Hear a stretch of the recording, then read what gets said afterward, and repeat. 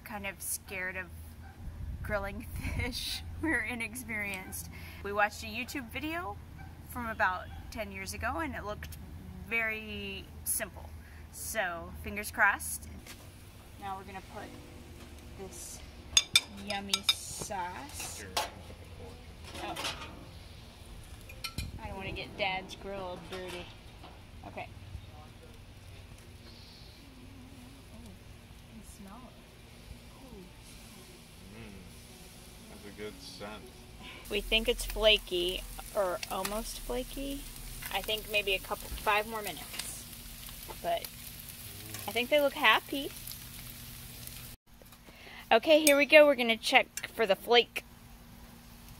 I know a flake. Whoa.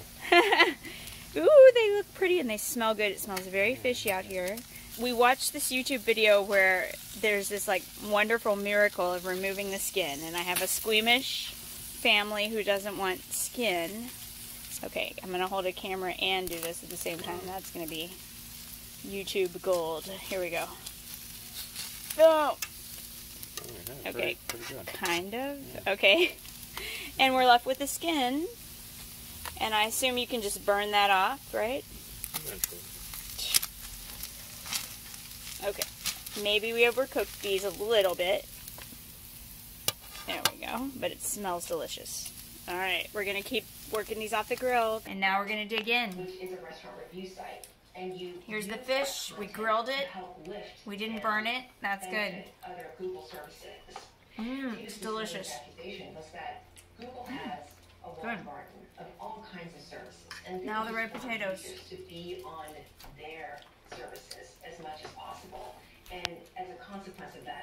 Could have cooked them a little longer, but tasty, fresh, eaten local. Mm. Which is this Google Yes. Okay, say, say something supportive like, mmm, this is amazing. Yummy.